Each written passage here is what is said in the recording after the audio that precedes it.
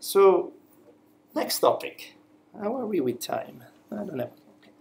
I'll check later. Um, the default uh, merge strategy in Git is the one that you want 95% of the times, maybe 98% of the times. But uh, merging different lines of code is a really powerful capability, and Git has uh, five plus different ways to do merges. And then uh, just to give you a sense of what it means to use different merge strategies, I'll walk you through one example, plus mentioning another one and how you could use it. So just uh, to bring everyone along, if you're not really familiar with you know Git concepts, what's a merge? A merge is a way to, yeah, the animation got broken. It's a way to reconcile changes that have been made on two different streams of development, on two different branches. And what typically Git uses is, a, is an algorithm called a three-way merge, where it climbs up the ancestry of, uh, you know, uh, the, the ancestors of the two competing lines of development, does the diffs, and tries, tries to understand what the two developers wanted to do and if it can, do, you know, weave the changes, merge the changes for you. And a lot of the times uh, that works because uh, Git is very precise about understanding which lines were changed um, in the two different lines of development. Sometimes when it doesn't work, you need to resolve a conflict. So that's the basic. Uh, that's the basic of what a merge is. Uh, the truth is that Git uses a strategy. Maybe have a list of strategies. Yeah. I'll, I'll get to that. First, I want to tell you, literally at the low level, what is a merge in Git. If you have a commit object, which you know has a as a as an identification that identifies the tree, so the file system tree that that that com, com, commit is referring to, and the author and the committer, and but it's a commit, it's a very simple commit that uh, instead of having one parent, it has two parents. So that's the only distinction between a normal commit and uh, a merge commit. A merge commit has two parents. Uh, next. Yeah, so this, there's five steps in this, but I just wanted them to show them all. Okay, so Git has, as I, I told you, five, right? So I got it right. It's five different merge strategies that you can use um, while solving conflicts, while merging different, li different, different lines of development. And you can even pass in your own uh, script, your own strategy, if you have, a, um, you know, if you modeled your code base in a way that's, uh, that, for example, imagine you have a, uh, you know, shapefile for a 3D model. You could write a merge strategy that could move different parts of a 3D model uh, inside when, when you do git merge. This is something possible. It's not something that many people do, but you can write your own merge strategy. The default one that uh, you probably use daily and it uh, covers 99% of the scenarios is called recursive, which is a three-way merge. Um, uh, uh three-way merge. It's just uh, look it up on Wikipedia. There's a long explanation about what a three-way merge is. The difference is that it climbs up when it cannot tell what, what the common ancestors of, of, of, two branches are, it climbs up the ancestry tree and, and, creates a common, common ancestor itself. So you don't really need to know uh, uh, too many details, just the default will do. But for the sake of this, you know, power users, show you advanced techniques, I want to show you uh, a merging strategy that you might, might use one day, and it's the ours merge strategy. So first I tell you what it does, and then I will tell you why you want to use it. It's a very peculiar merge strategy that does this. Imagine you have a feature, and you have a master branch, and you want to uh, ignore any commit that's incoming from that feature branch, but still record a merge. Now, why would you want to do that? Well, the trick is that this allows you to basically make the two feature branch uh, ancestor. So this final merge commit becomes ancestor, uh, has an ancestor in both branches. And this is useful for a scenario that now I will show you. So remember, this merge strategy records a merge that doesn't use the, anything of the code that comes in from the feature branch. So this strategy is one of the ways that you can use to, for example, promote a more recent branch to be your master without disrupting anybody's work. So imagine that you, um, um, yeah, you have a master which is your stable branch. Every uh, your team has been working on the new fancy branch for a while, and after a while you become so happy that everybody's working on this new fancy branch, and nobody wants to work on master anymore. And but you'd like to use master as a name. So, uh, is there a way to make uh, you know this new branch master? Yes, there is. And you, one of the ways to do it is to use this uh, ours strategy. And this is what I want to show you. So, and we'll actually do it visually. I'll also show you some of SourceTree to see, you know. Okay, so ah, as you probably have guessed, I have a branch called Fresh Start. So if I check out Fresh Start. So remember, just uh, go back to master. So master has a few commits. It has a few files called episode dash and a name. But uh, you know, developers in this project didn't like this naming convention.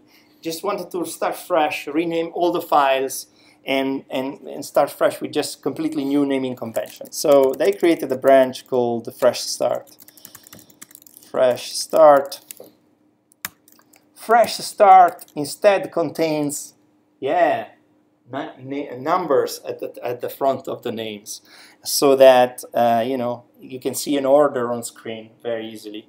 Now, the list of commits of this branch is very short because I have rebased and squashed all the commits down to one, renamed all the files. I want to start fresh. Now I want all my colleagues to have the state of my project as it is in this branch without having them having to repool and, and, and you know, clone everything again. I just want to make master this as it is right now. So let me show you how this looks on SourceTree. Uh, any of you guys know, know SourceTree? You already know it? Ah, lots of hands, cool. Make me proud. So, uh, so this is a view of the, of in this case of master branch, as you see with all the commits and you can see that there's uh, all those files have those names and if I go to the fresh start one there's only two commits and I've renamed all those files now what I want to make is I want to make this fresh start uh, you know relative and you know ha have a common ancestor with master but don't take any changes from master keep everything as I have here and then I can merge this branch back to master and it will fast forward and convert master into this. If you don't believe me, we're going to do it live. So let's see. So if I'm gonna do, I'm going to do git merge minus strategy ours master. So I'm trying to merge master onto this branch using the strategy ours. That means merge master here, no problem, but keep everything all the all the the work my, my the state of my project exactly as it is now. I don't want any incoming change. All right, do it. Just take the default. Now, if I look at the commits, you can see that uh, I have the entire history of the project in here, and I have uh, uh, a merge that kept everything up to this point exactly as I want it. So if I look in SourceTree, so you can see now my my fresh start commits has a whole and now I have as a common ancestor and I did this merge where I didn't get any of the changes here. So now fresh start and master have a common ancestor and can be fast forward. So now if I go to back to master and I do merge fresh start Ah, first I show you the before. Folder in, in master is the old one, you can see. And if I do merge, fresh start, magic will happen. Ah, everything has been renamed to the new version. The history is still linear, and all my colleagues will get the new version. We call it master, and we can go on. We have promoted fresh start to master without disrupting anybody's work.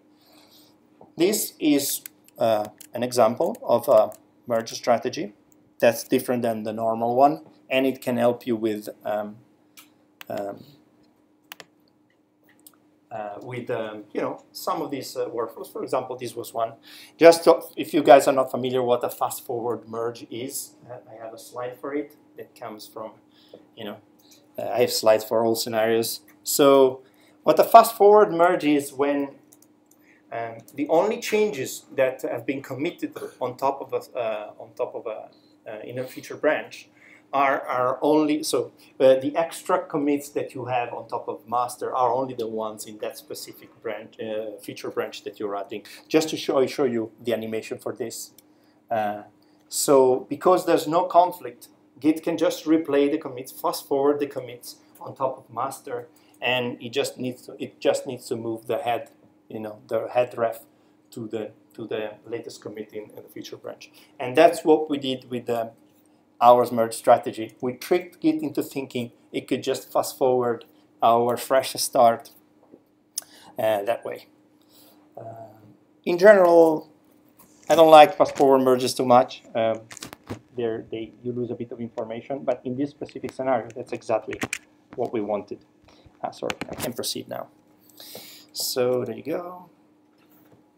There's another uh, example strategy that I want to tell you about, just to give you a sense of, of the different things you can do with, uh, with them, and that is the octopus merge. So recently uh, on our blog, I don't know how many of you know, we have a developer blog that started the last November, just focused on developing the uh, content for, for developers within the Atlassian ecosystem and also more generic, general stuff, uh, development stuff. And we have a blog that, where we use Git to and Markdown to you know write content, review content, pull requests to review content, and each of us works uh, in their own feature branches. So when we're writing our articles, uh, each of us has a has a feature branch, opens a pull request, and we go through reviews. But we want uh, you know on our staging server to publish all of those branches. It's a staging server where all our temporary and unpublished articles we would like them to appear. So for that, uh, we have been using very successfully an octopus merge, which allows you to merge uh, more than one branch together. So we basically merge all the unpublished articles onto our staging server using an octopus merge. And there's a few caveats on, on tricks on what to do. So if you want to know more, go and check out that article.